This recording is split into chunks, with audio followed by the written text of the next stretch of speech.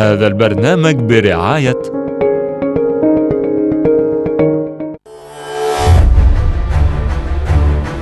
هكون معاكم النهارده وريد كاربت جديد وأحلى النجوم وأحلى القنوات وأحلى الإعلاميين اللي مهرجان القنوات الفضائية في الدورة الخامسة بيكرمهم. على كل مبدع أبدع في 2014 هنعيش معاهم أحلى التكريمات ونهار جديد وطلع النهار في مهرجان القنوات الفضائية.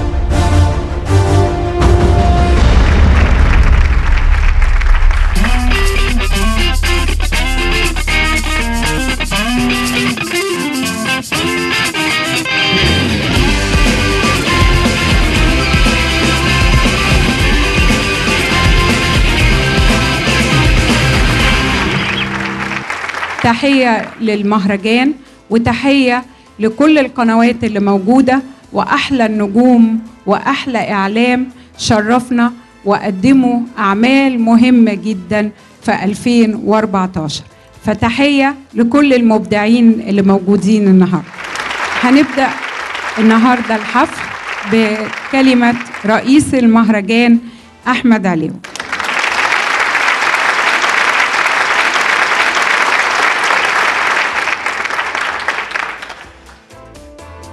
إذا كان الإعلام والفن هما القوتين الناعمتين التي تساند قوى الدولة الأخرى قيادة وجيش وشرطة وقضاء في تحقيق الأمن والأمان لمصرنا الحبيب فكان لزاما على إدارة المهرجان أن يكون شعار هذا العام مصر بلد الأمن والأمان. وأن يكون المكرمين اليوم هم صفوة المختارين ممن حملوا على عاتقهم تحقيق الأمن والأمان لمصر ليكون حقيقة واقعة وليس شعار. وأوجه الشكر لسيادتكم جميعا على تشريفكم لنا وأتمنى أن تنال هذه الدورة إعجابكم وستظل مصر آمنة وتحيا مصر. والسلام عليكم ورحمة الله وبركاته.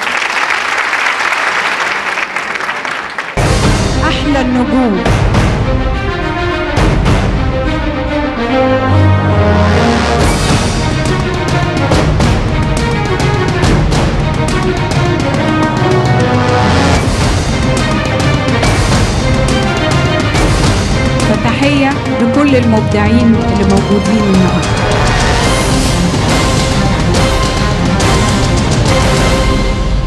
ألفين وأربعتاشر زي ما كان فيها حاجات إيجابية وكان فيها حاجات آه، مفرحة. كان في آه، مبدعين رحلوا عنا في 2014 النهارده لازم كلنا نفتكرهم ونودعهم مع بداية 2015 نشوف مع بعض الفيديو ده.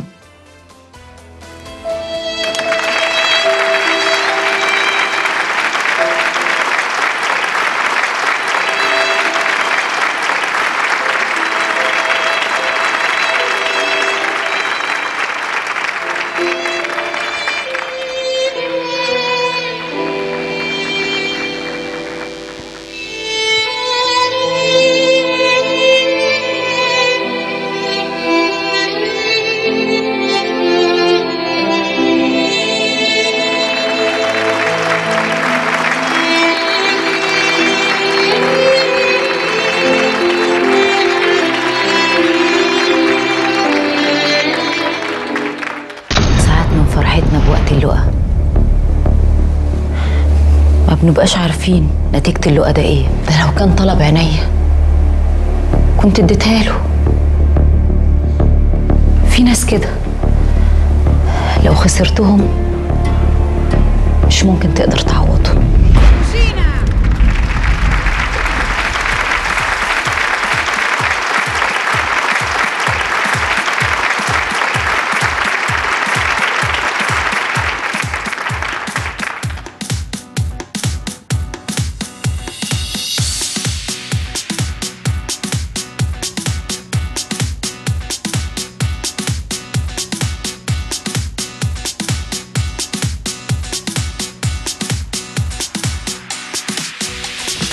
راهن عليها يوسف شاهين وقدمها في أعماله وكان هو فعلا آه، كسب الرهان وجي محمد سامي وقدر إنه يفجر طاقة جديدة فيها ويخرج أحلى ما فيها في السنوات الأخيرة.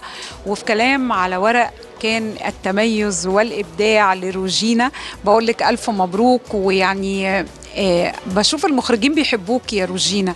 كل مخرج بي- بيطلع منك حاجة مختلفة تماما عن ال- ال- العمل أو يعني يمكن يوسف شاهين شافك في حتة. ولكن لما بدأتي مع محمد سامي لقيناه آه، غير من روجينا أو أعاد نجومية لروجينا جديدة. ف وطبعا أحدث الأعمال كلام على ورق والنهاردة مهرجان القنوات الفضائية بيكرمك عليه. فشايفة الحالة دي إزاي؟ وشايفة الفترة الأخيرة دي مع محمد سامي. اولا آه، الله يبارك فيك يا بوسي ومبسوطة قوي قوي إن أنا معاكي. شايفة إنه الحمد لله ربنا أكرمني إنه محمد سامي بشتغل معاه لثالث سنة. ثلاث سنين أدوار فيها تميز بالنسبة لي أدوار مهمة. ويمكن محمد سامي شافني في الفترة الأخيرة في حاجة جديدة أنا ما كنتش شايفة نفسي فيها. وهي أدوار أنا عمري ما فكرت إن أنا ممكن أعملها في يوم من الأيام. وكان آخرها كلام على ورق. يعني أنا مهما حلمت أو تخيلت مش ممكن أعمل البنت بتاعة الكباريه اللي بائعة الهوى بس دايما محمد بيشوفني في أدوار مختلفة وأدوار جديدة. فعشان كده دايما الن- الناس لما بتبقى مش متوقعة منك دور معين لما بتعمليه بتلفتي النظر. السنة الجاية مع محمد سامي برضو ولا ناوية بقى تخرجي تشوفي مخرج تاني يكتشف حاجات جديدة في روجينا لا السنة دي مش مع مش مع محمد سامي. قررت أنا ومحمد السنة دي يعني نبعد ونشوف آه، كل واحد هيعمل يعني أنا أنا ناوية برضو محتاجة أشوف مخرجين تانيين آه. بشكل تاني. باتجاهات في التمثيل مختلفة. فيا رب ربنا يكرم محمد ويكرمني السنة دي إن شاء الله بإذن الله. مضيتي مع مين أو إيه الجديد بقى في 2015 والله يا بوسي عندي حاجات كتيرة جدا جدا جدا. آه لسه يعني الحاجة الوحيدة اللي مضيت آه حالة عشق آه مع أستاذ إبراهيم فخر. ومجموعة كده كبيرة على رأسها مي عز الدين. ممكن آه، ما تشتغليش وتقعدي بقى كده تديري ال- ال business بتاعك يعني تبعدي بقى شوية. ساعات يقول لك الفنان إيه ما جاليش دور عايزه أريح السنة دي. لكن في ناس اللي- اللي اللي فن أكل عيشهم يقول لك ما أنا ما أقدرش ده أنا عندي مسؤوليات وعندي فساعات بقبل أدوار معينة عشان ده ال- الولاد والمدارس والايجار البيت والجو اللي انت عارفاه. لا أنا ما أعتقدش إن أنا ممكن أبعد عن التمثيل لأنه أنا بحس إنه لما ما بمثلش والله في سيزون كده يعني ساعات ما, ما بتوفقش في حاجة.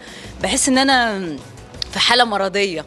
فلا التمثيل عشقي الأول ودراستي وبحبه وما أعتقدش إن أنا ممكن أبعد عنه خالص. لا لا حتى لو في بيزنس تاني دي حاجة تانية كده ربنا يوفقنا فيها بس لا أهم حاجة التمثيل. إن شاء الله وبقول لك طبعا ألف مبروك وهنكون معاكي كمان السنة الجاية إن شاء الله تاخدي نفس الجائزه وامنياتك إيه بقى؟ خلاص خلصنا 2014 مستنية إيه وإحنا في 2015 أمنياتي أهمها بتمنى إن مصر تبقى بخير وبسلام وأمان زي ما هي أمان وسعيدة لأنه سنة يعني شهر ورا شهر مش سنة ورا سنة شهر ورا شهر بحس إنه البلد بقت أمان والناس بقت مبسوطة وسعيدة والناس رجعت تحب بعضها تاني.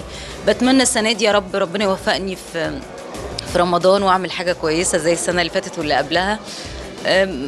بس دي أهم أمنياتي. إن شاء الله ومرة تانية بقول لك ألف مبروك. الله يبارك فيك يا بوسي وأنا بشكرك جدا جدا. بالحنان ورحمة حبيشة.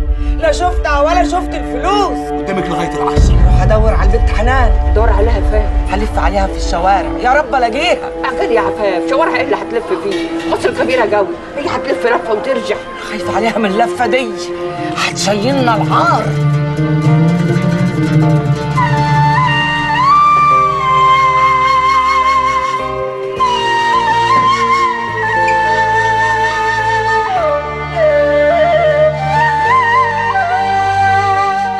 المبدعه هالة فاخر ابن حلال.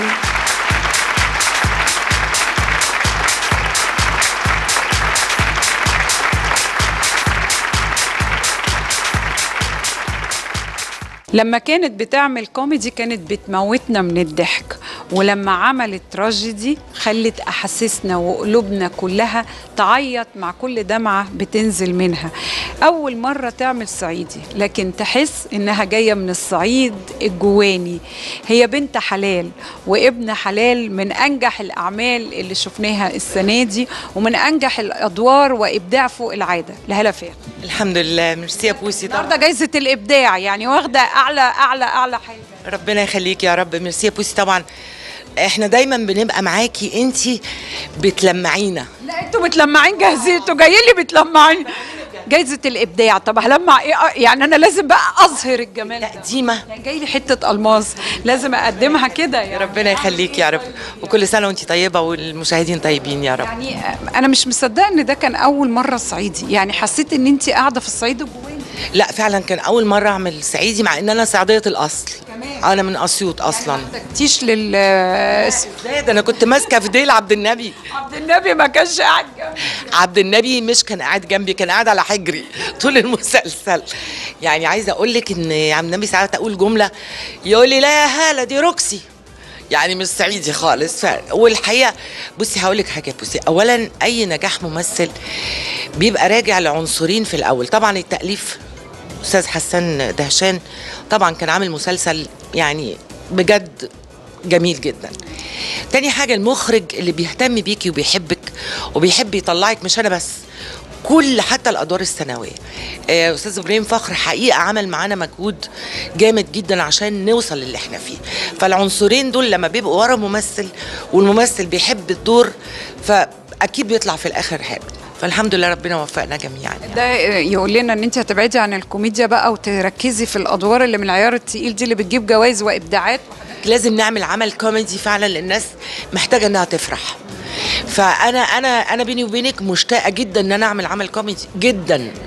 فلا ربنا يسهل يعني إن شاء الله. يعني اللي جاي إيه بقى؟ 2015 إحنا بدأنا أهو. ناوي- ناوية لنا على إيه بعد النجاح الكبير؟ في لا هي لسه ما اندعتش بالنسبة لي. آه لسه. أنا اصل أحيانا الواحد لما بيعمل دور حلو قوي وبيقدم فيه أحلى ما عنده بيقعد له بقى شوية كده خايف بقى يقول لك طب وأنا مش هلاقي أحسن من ده طب أنا لازم أخلي بالي لأن عملت ده فيروح مريح سنة. فده بالنسبة لي آه أنا بالنسبة لي طبعا زي ما انت بتقولي بالظبط مرعوبة جدا وعايزة حاجة جديدة مختلفة. فمش عارفة إيه اللي هيحصل. لا أنا بقول للكتاب عندكم إبداع فوق العادة لازم عايزين أدوار حلوة لهلا فاخر أثبتت بجد إمكانياتها الكوميدية والتراجيدية وهي فنانة مختلفة تماما طبعا لأنها بنت عملاق. فالعملاق ده مؤث- مأثر فيها وفعلا ابن الوز عوام يعني. وبقول لك ألف مبروك الجايزة النهارده ومن نجاح لنجاح ولازم تعملي حاجة السنة دي إن شاء الله. إن شاء الله انت دايما وشك بيبقى حلو تاخدي الجايزة السنة الجاية. إن شاء الله بإذن الله. ميرسي بوزي حركت قلوب المشاهدين وأبهرته لأنها مخرجة تتسم بالذكاء والحرفية. اتشحنت بنبض الشارع وأبهرتنا في سجن النساء. كاميرا جريئة زائد بساطة تساوي أفضل مخرجة. كاملة أبو ذكري سجن النساء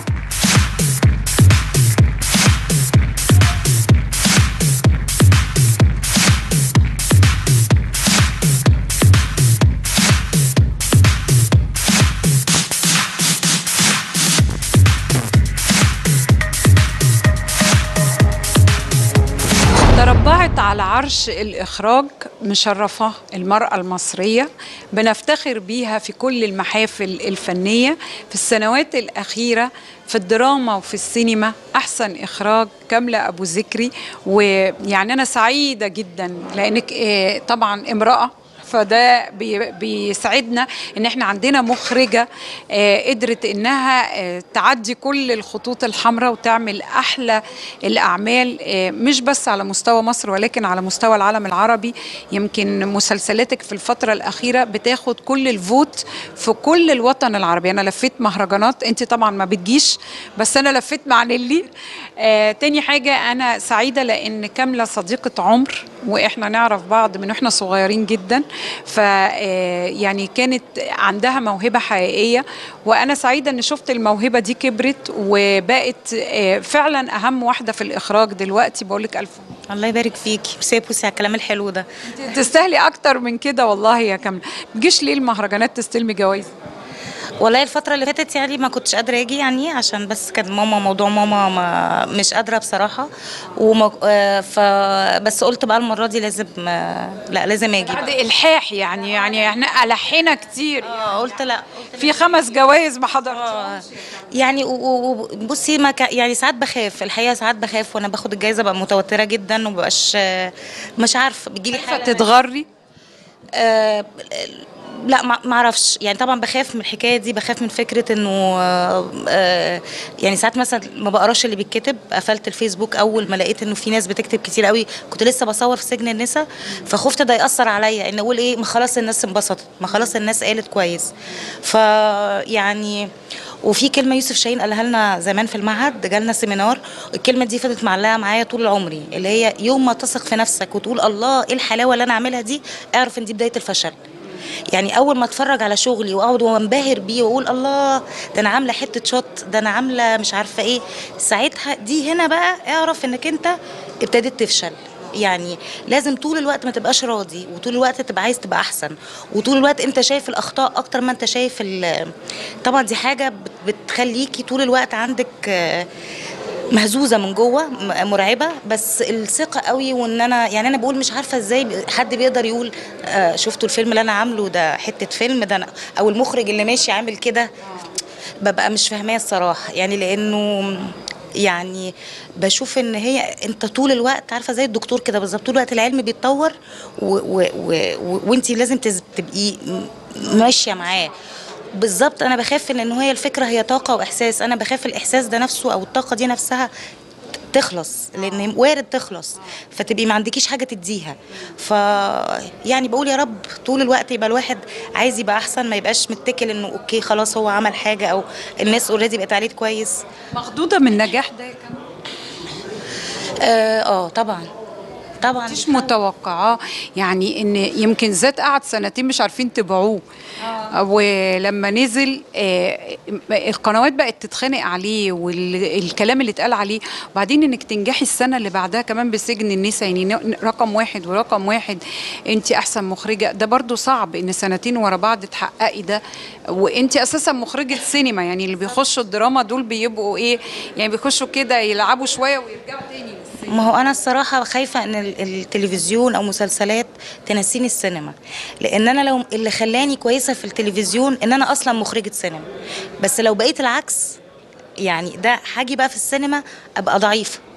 فعشان كده بتمنى فيلم يوم للستات هو اللي يعني إنه ال- اللي أنا مستنياه قوي أكتر من أي مسلسل ممكن أكون مستنياه. ده الفيلم يوم للستات ده هو الحاجة اللي أنا آه يعني عايشة بحلم بيها أنا كده. اللي بحلم بيه عايزة أروح بيه كان ده. ده أنا عايزة أروح معاه كان. مش معقول يعني عايزين كان وبرلين وفينيس كمان يعني من واحد صفر. أنا ما رحتش بس لعلمك هو فاكرة لما رحنا فينيسيا كانت رحلة حلوة. كانت من أجمل لا, لا هو ال- والله المسألة مش مسألة مهرجان. يعني أنا أنا أتمنى بس إن أنا أشوف الفيلم. يعني من كتر الرحلة الطويلة اللي إحنا جوه الفيلم فيها نفسي أشوفه بقى الفيلم اللي إحنا بقالنا سنين هنموت ونعمله اللي إحنا كل ما نيجي نصور يحصل فيه حاجة. طب في الآخر لأنه خلي بالك أنا كده هنبقى مصورينه على ثلاث سنين جزء في سنة وجزء في سنة وجزء هنكمله في إبريل. فعايزة أعرف وأنا عمالة كل مرة بدخل فيها التصوير بحس إن أنا اختلفت. حتى الحاجة اللي أنا يمكن لمصلحته إن زيادة النضج بتحطيه. يعني زيادة النضج بتروحي كل مرة بيبقى عندك نضج زيادة بت أو بتشوفي أخطاء ممكن آه، في في الفيديو فبتصلحيها في السينما. ممكن. هو طبعا الفيديو إداني آه، خبرة فظيعة. بس هي فكرة إنك تفضي دي ما هي دي الحاجة اللي إيه آه، إنه إنه إن هو بيدخلك جوه دايرة كده 30 حلقة لو دخلتي جوه الدوامة فهتبقي انت لازم كل سنة عندك مسلسل أنا بسميها دي دوامة هتغرقني لو أنا عملت كده. آه، آه، يعني ده دليل إنك مش هتعملي السنة دي؟ الله أعلم. يعني لسه لغاية دلوقتي. الله أعلم. بس بس أنا أنا ما, ما, ما بتمناش إن أنا أدخل جوه دوامة إن أنا أبقى آه، آه، كل سنة ليا مسلسل. مفرمة الدراما. أبقى مفرمة الدراما آه، آه، عايزة إبداع السينما. عايزة إبداع السينما. عايزة إبداع السينما الصراحة يعني. انت ريحي السنة دي بما إنك مش هتشتغلي مع نيلي فما تزعليهاش. نيلي كل الحاجات ب... يعني نيلي أنا آه، رواية شغالة عليها لسه اللي هي واحه الغروب لأستاذ بهاء طاهر وإنتاج آه، أستاذ جمال العدل واللي هتكتب سيناريو مريم نعوم. ده الطقم الرئيسي اللي أقدر أقول لك عليه المسلسل ان في رواية اسمها واحه الغروب تأليف أستاذ بهاء طاهر. مريم نعوم هي اللي هتكتب السيناريو أنا اللي هخرج أستاذ جمال هينتج. ده الكاست لغاية دلوقتي. لسه ما ما مفيش أي- يعني لسه في أمل لنيلي.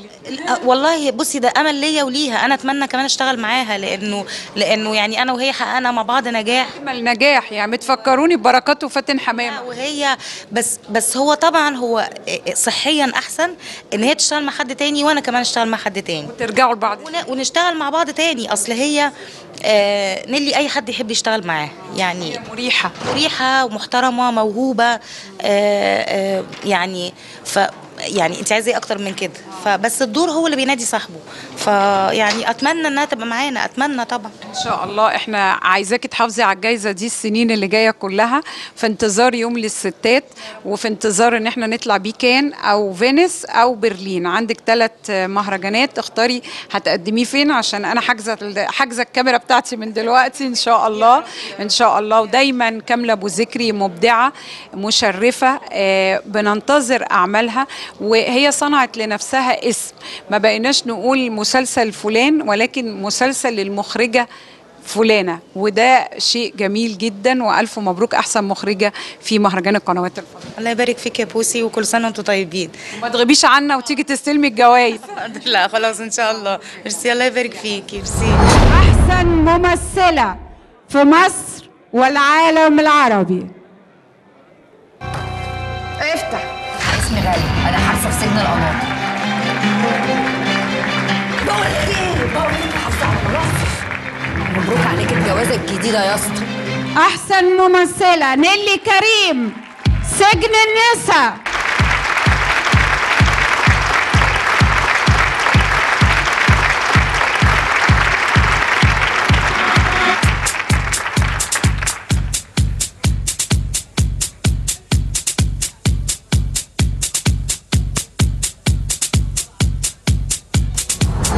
هفضل كل مرة أقول من لبنان لدبي لمصر لكل الاستفتاءات في كل أنحاء الوطن العربي هي أحسن ممثلة السنة دي. أحلى سجن نسا وأحلى نيلي كريم اللي شرفتنا على مستوى الاستفتاءات كلها وجابت لمصر جوائز كتيرة من البلاد العربية.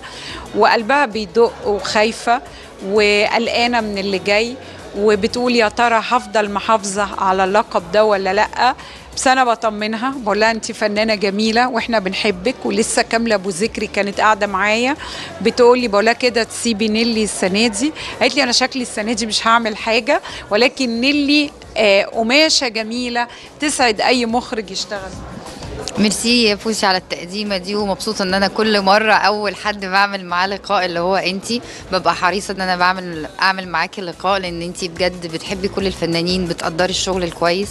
آه، أشكر كاملة طبعا على كلامها. أكيد آه، زي ما هي قالت أي مخرج يتمنى يشتغل معايا هي كمان آه، مخرجة أعتقد أي ممثل في الوطن العربي الفنانين عايزين. يحب يشتغل معايا بس أنا من الناس اللي بغير. قلت لها قلت لها لا ما حبكيش تشتغلي غير مع نيلي قالت لي والله قالت لي أنا يعني لغاية دلوقتي لسه ما خدتش قرار. اللي, اللي أنا واخدة قرار فيه إن مريم بتكتب والمنتج جمال العدل. لكن هل هيتعمل السنة دي؟ السنة الجاية مين الأبطال؟ مستنية الورق يخلص لأن ما أقدرش أحدد وأنا مش عارفة. وهي حاسة إن إبداعاتها كمان عايزة تطلع طاقتها السنة دي في السينما وتخلص فيلمك يوم إحنا كلنا عايزين نخلص فيلم يوم للستات لأن حقيقي تعبنا فيه قوي. لظروف ما وقفنا بس فاضل لنا مش كتير حوالي أسبوع تصوير يعني تقريبا. يعني نيلي إحساسك إيه إن كل استفتاء أنت اللي واخداها؟ هل زهقتي من الجواز بقى؟ تقولي خلاص أنا تعبت بقى كل يوم ألبس وفساتين وأطلع وأسجل وريد كاربت وقنوات ولا كل مرة بتحسي ببهجة. ووهج أكتر من آه لا حقيقي ببقى مبسوطة أكيد يا فوزي. مفيش حد ما بينبسطش لما بيكون في جايزة حقيقي يعني. أكيد. أكيد ولسه يعني أنا شايفة إنك تحت السيطرة. وانت تحت السيطرة تحت سيطرة الجوائز ده تحت السيطرة ده العمل القادم في 2015 وصل لإيه؟ آه لحد دلوقتي مريم لسه بتكتب. آه إن شاء الله هندخل في آه نص فبراير أو بداية فبراير. أنا عليا خلصت كل التزاماتي خلصت البرنامج بتاع So You Think You Can Dance خلصت سرايا عابدين وخلاص ه... متفرغة بقى. متفرغة. لا إعلانات ولا برامج ولا أي حاجة بس في فيلم. في فيلم مع السبكي أنا آه هو المفروض فيلم مع سامح عبد العزيز اللي هو الليلة الكبيرة. آه إحنا يعني ابتدينا نتكلم بعد كده وقفنا شوية سامح كان مشغول وأنا الحقيقة كنت مشغولة وما كنتش عارفة ما كانش عندي وقت إن أنا أقرأ السيناريو. بس أكيد أحب أشتغل مع سامح جدا لأن سامح من المخرجين آم، اللي يعني عملتي معاه مسلسل. أنا أنا عملت معاه مسلسل الحارة من المسلسلات حاجات هي آه يعني أنت عندك الثلاث مسلسلات بتوعك مشرفين. آه وعملت معاه فيلم آه أحلام الفتى الطايش اشتغلت أنا وسامح يعني كذا مرة وأنا بحبه جدا كمخرج وهو آه، أفلامه حقيقي مميزة جدا يعني. إن شاء الله ربنا هيوفقك. ومرة تانية بقولك منورة مهرجان القنوات الفضائية باستفتاء الجمهور أحسن ممثلة 2014 نيلي كريم وألف مبروك. ميرسي يا حبيبتي ميرسي كل سنه هو سفير فوق العادة للضحك. أول من فتح التيار في السينما لجيل جديد من نجوم الكوميديا لإسعاد الناس. هو إيديا محمد هنيدي في شوربة السياحة. شوربة السياحة. تشربها تحس براحة. لا توابل ولا ملاحة. ولا مرقة ولا زبدة ولا بتاع. شوربة السياحة. هو أحسن ممثل إذاعي. محمد هنيدي.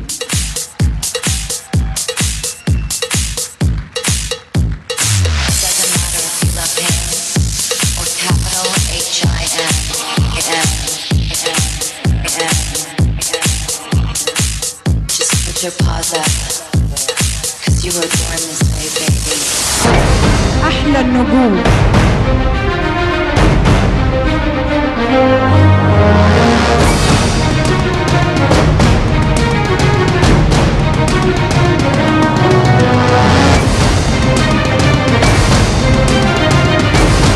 فتحية لكل المبدعين اللي موجودين النهارده.